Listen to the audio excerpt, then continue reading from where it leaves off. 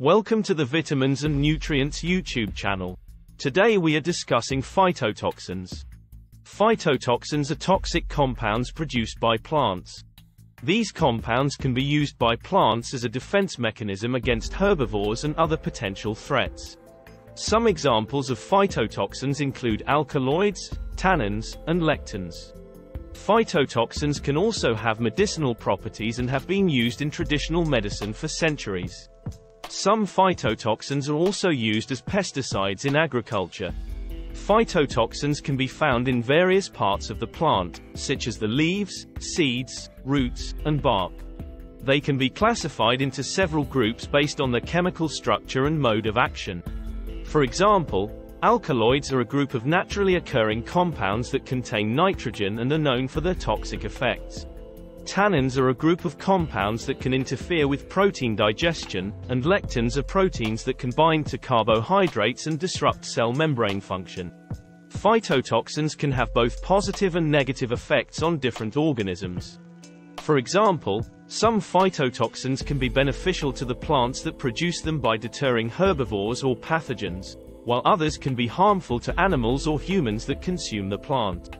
Some phytotoxins can also have medicinal properties and have been used in traditional medicine for centuries to treat a variety of ailments, such as cancer, inflammation, and pain. However, it's important to note that not all plant-derived compounds are toxic and some may even have beneficial effects such as flavonoids in fruits and vegetables. Phytotoxins can be found in a wide variety of plants, including both wild and domesticated species. Some examples of plants that contain phytotoxins include nightshade plants, such as the tomato and potato, which contain alkaloids such as solanine and tomatine. Castor oil plants, which contain the toxic compound ricin. Rhubarb, which contains oxalic acid.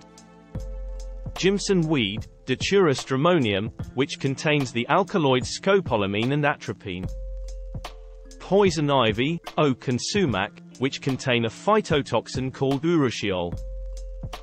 Yew trees, which contain the alkaloid taxine. Larkspur, which contains the alkaloids delphinine and delphinidine. Foxglove, which contains the cardiac glycosides digitoxin and digoxin. Milkweed, which contain cardenolides.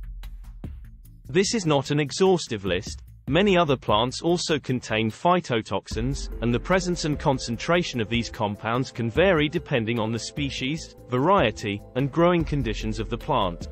It's important to note that while these plants contain phytotoxins, they may also have beneficial properties as well. Many common fruits and vegetables do not contain significant levels of phytotoxins and are generally considered safe to consume. However, some fruits and vegetables do contain low levels of certain phytotoxins that may be harmful in large quantities. Here are a few examples. Tomatoes and potatoes contain solanine, an alkaloid that can cause symptoms such as nausea and headaches if consumed in large quantities.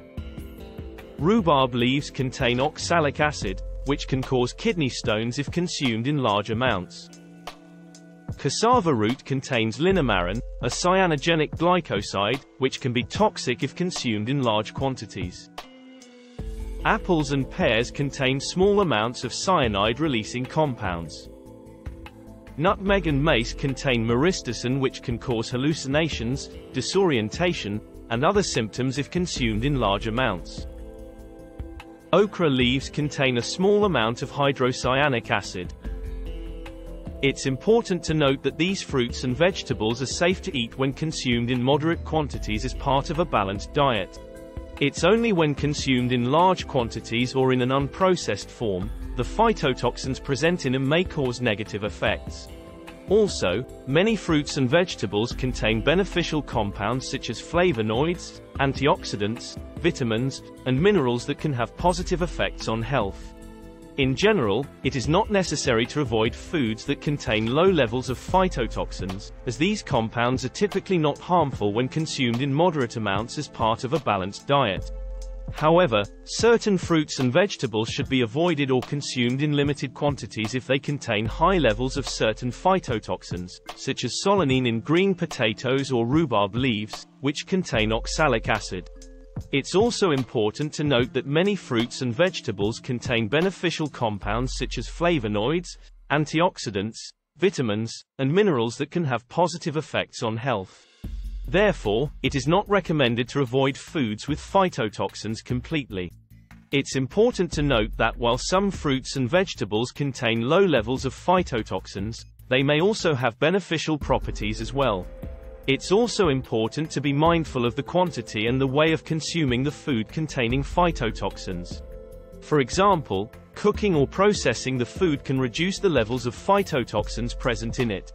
Thanks for watching and don't forget to like and subscribe for more informative videos like this one.